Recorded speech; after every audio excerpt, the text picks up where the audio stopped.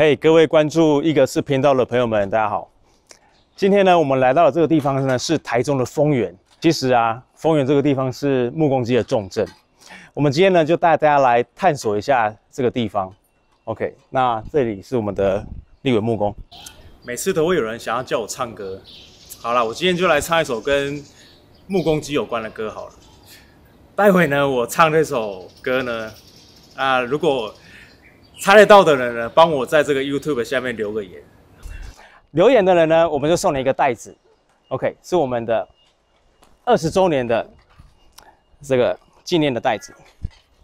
When I was young, I listened to the radio, waiting for my favorite song.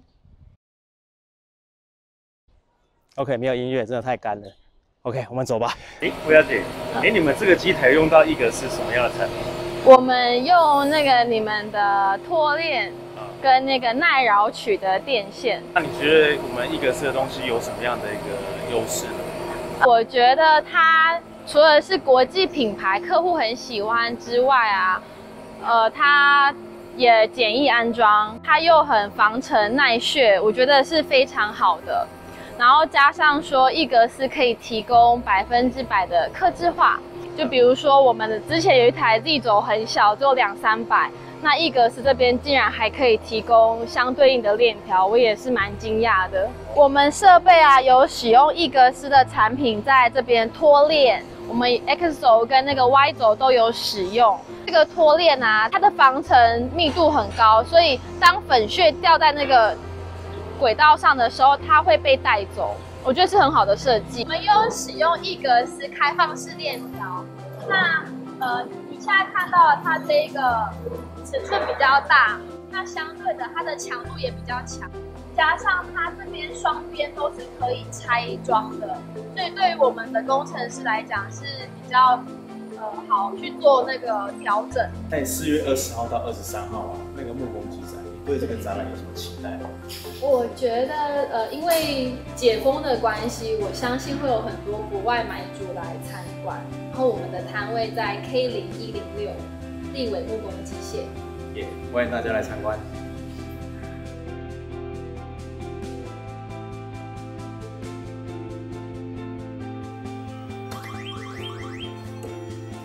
写条剩没？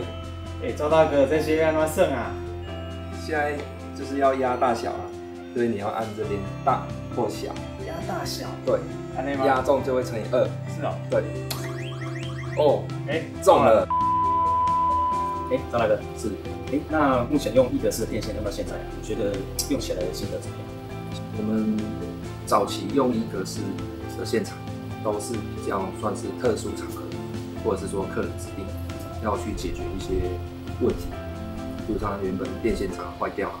或者是受到干扰，对，遇到这种情况之后，我们就会第一时间就会想要用一个色产品来解决这些问题，对。那用到后面，贵公司后来也有出一些比较经济款式，啊，对，所以就有机会可以在整套设备上全面的导入这样子。哦，那大概是用在什么产业的？我们这边主要会比较多应用在木工机产业，对，所以就会需要耐老取啊，然后抗干扰的能力也要好。像我们这次去日本，对，安纳克看到我们用的线径是比较小的，他一开始会质疑说，因为我们这是用太小，对，那我们就跟他说我们用的是一格式的线哦，对，那他们说哦，OK OK，没问题，这样子，听到就觉得，对，他们就懂了，说为为什么会选用看起来比较小的线径，但其实那样点数是够的。像我们木工机很长，会有异味的，啊，因为它的防火等级比较高，啊，对，是，所以跟客人一直定义为，那我们就推出一个是这个，就不太会有问题。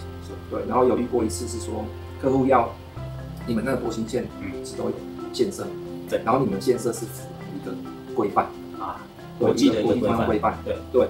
那那时候他就是说，你的线材一定要符合这样子的规范。那我们那时候看手册里面，哎，确实就有，对对，这个没有问题，就直接上，对。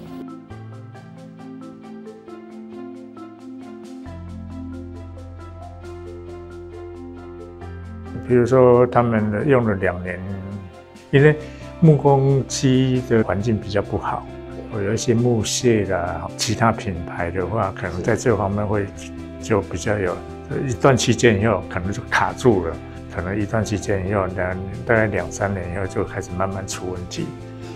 后来就那些客人有反映这个问题嘛，哦，所以说后来接触你们你们的产品以后，到目前呢用大概三四年到，哎，基本上客人反应是还 OK。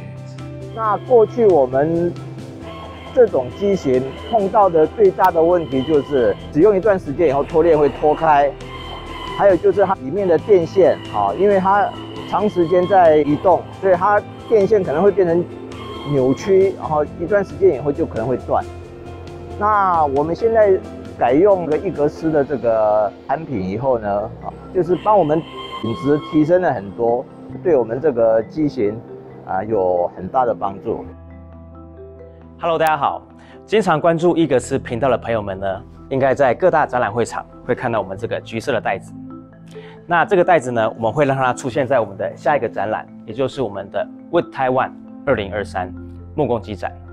那这个展览呢，暌违了五年，终于再度强势回归，我们非常的期待。那时间点呢，是在我们的四月二十号到四月二十三号，星期四到星期日。那有收到我们的实体邀请卡的朋友们呢，欢迎来到我们的摊位 J 零一零二，跟我们兑换我们的神秘小礼物。噔噔，还有我们跟德国科隆联名的啤酒礼盒。OK，我们到时候不见不散。